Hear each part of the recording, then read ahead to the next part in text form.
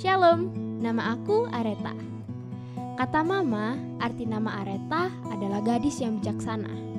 Dari kecil, Areta suka sekali ke gereja, apalagi pergi sekolah minggu.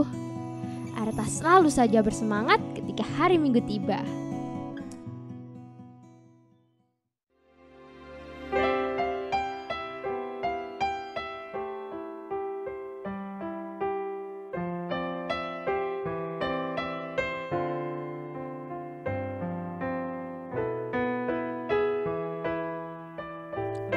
Aku bertumbuh dengan kasih sayang dari kedua orang tuaku.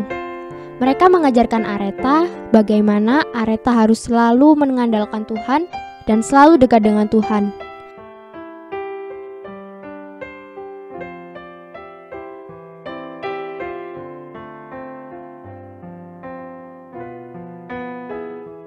Areta senang berada di keluarga yang sangat harmonis.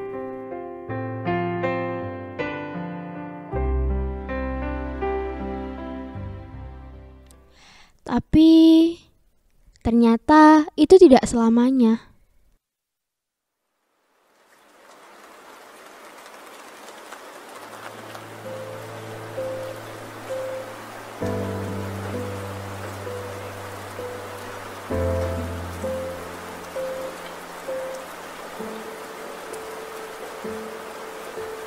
Oh, baru pulang sekarang ya papa ini ya.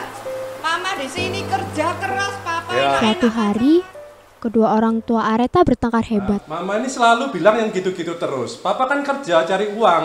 Cari uang sama siapa? Sama siapa? Ya. Sama sekretarisnya yang itu, ya. Yang waktu itu kepergok itu. Selalu curiga terus, selalu curiga. Itu cuci aja itu. Enak aja nyuruh-nyuruh orang. Ya sudah, nggak usah pulang aja sekalian. Pergi sana. Ya, fine.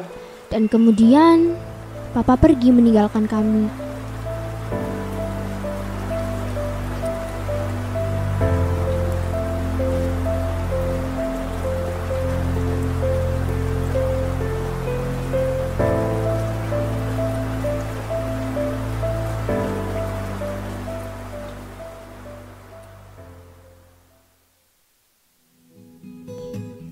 Tetapi itu tidak menghilangkan iman Areta dan Mama. Kami tetap rajin ibadah di gereja.